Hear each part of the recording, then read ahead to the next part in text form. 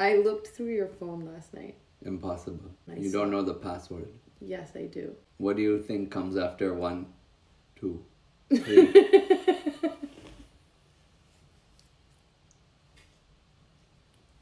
But I saw it.